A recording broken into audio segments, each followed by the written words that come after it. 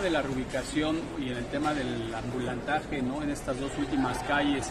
que tenemos en la 14 y la 16, ¿no? En el centro histórico de la ciudad, la encomienda que tiene el secretario es seguir dialogando.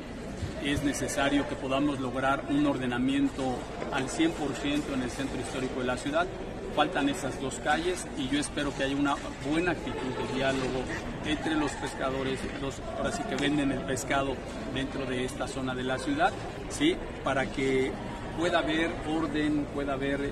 de alguna manera limpieza, pueda haber también eh, el acceso fácil a la clientela para que obviamente mejoren sus ventas. El desorden que a veces no este, en esta zona no de la venta de pescados y mariscos